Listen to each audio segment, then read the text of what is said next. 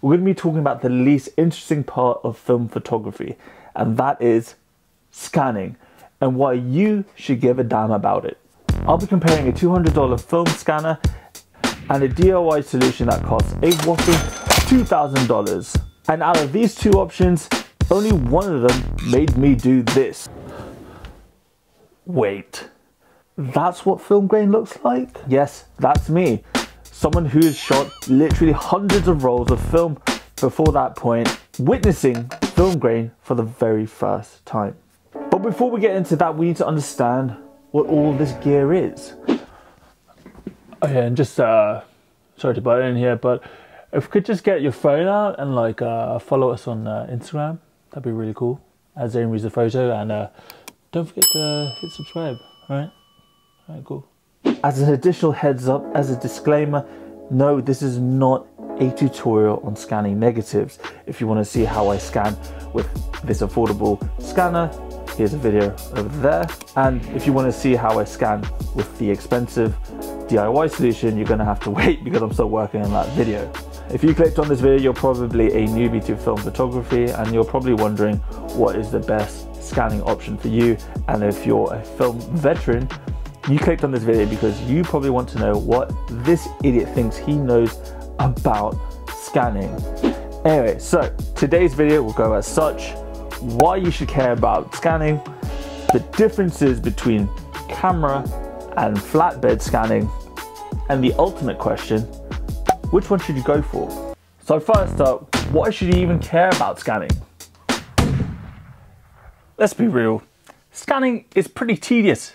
It's boring. No one gets romantic about scanning. Like you won't hear stories of people saying, you know, it was at that moment when I saw the beam of light shining through the film holder that I realized I was a true film photographer finally.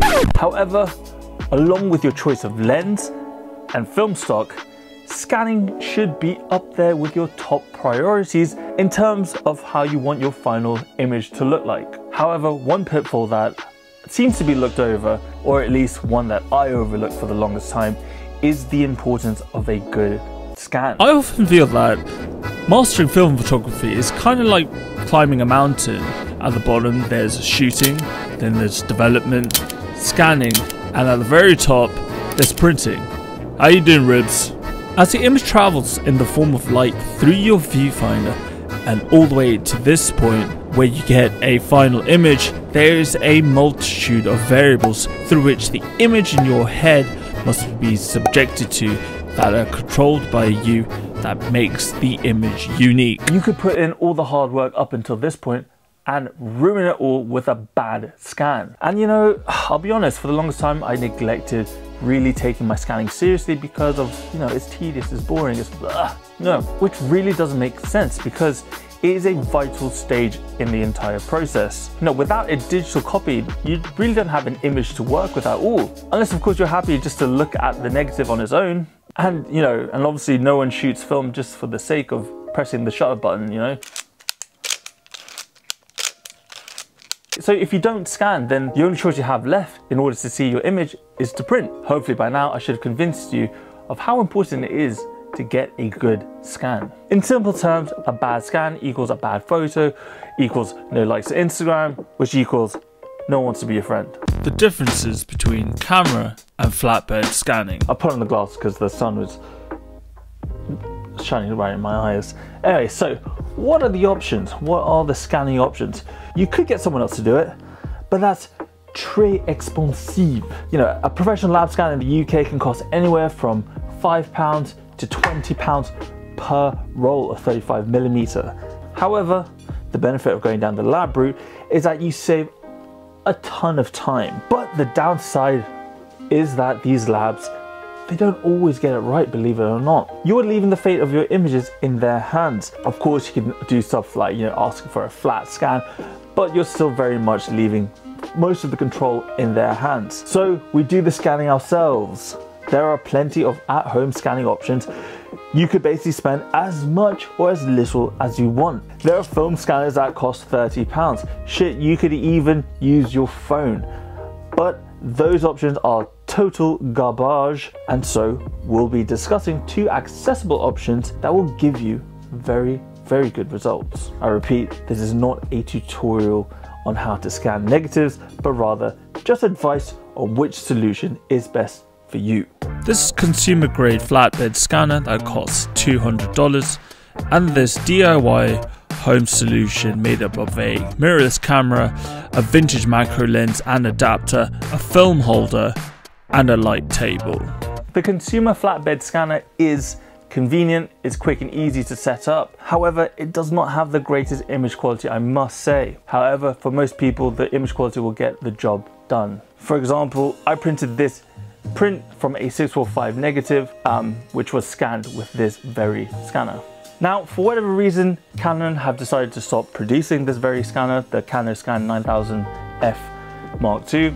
However, a perfect alternative to this one would be the Epson V600, um, you know, which I think everyone else uses as well. Of course, there are more expensive scanners out there, more expensive flatbed scanners, you know, such as the Plustek series or an Epson V800, but I've never used them, so I can't talk about them.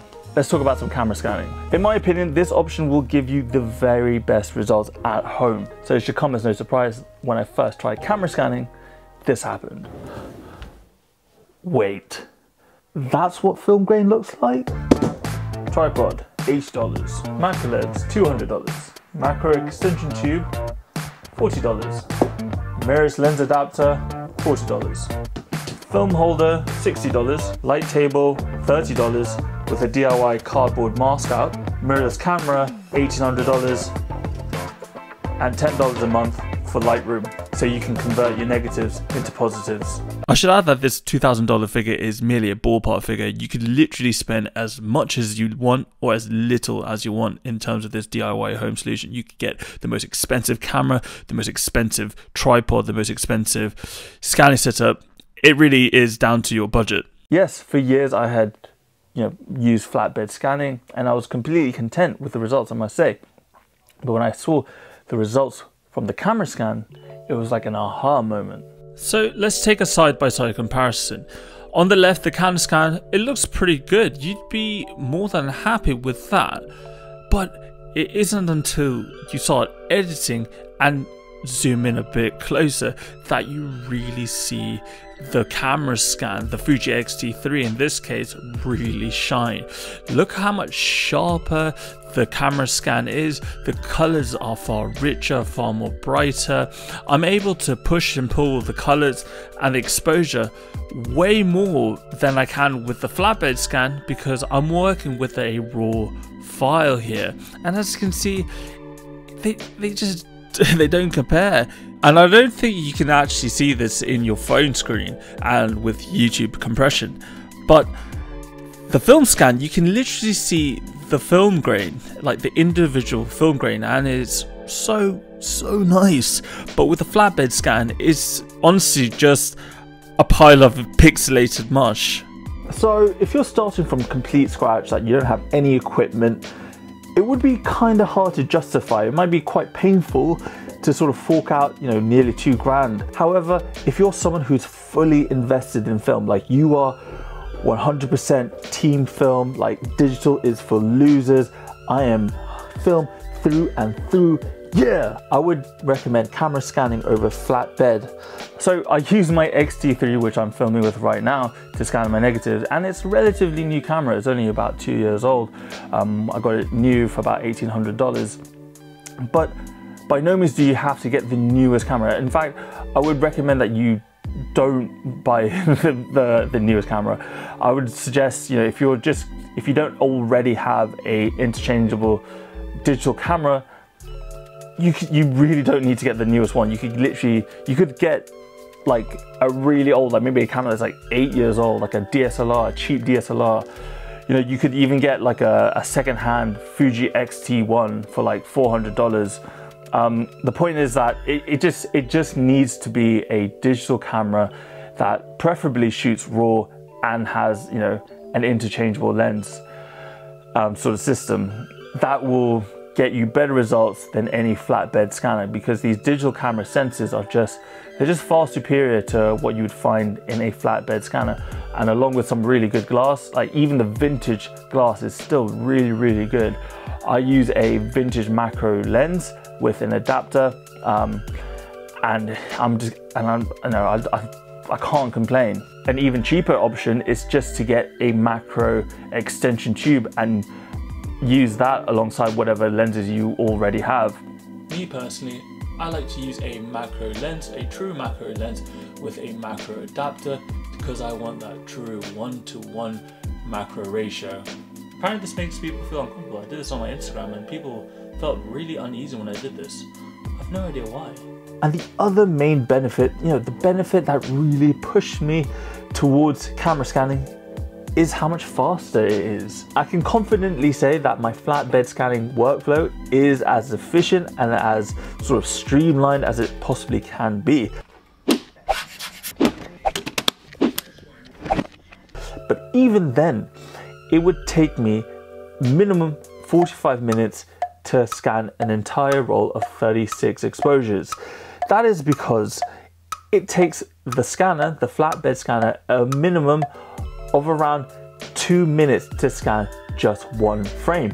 However, with a camera scan, the time it takes to scan one frame is basically whatever you set the shutter speed to. In my case, I scan everything at 1 15th of a second. So if you just do some simple maths right there, two minutes times 36, you're looking at over an hour and a half to scan just one roll of film. And that doesn't include the time it takes to cut a roll of film into strips of six to load the film holders, to unload the film holders, all those little bits that add to the overall duration.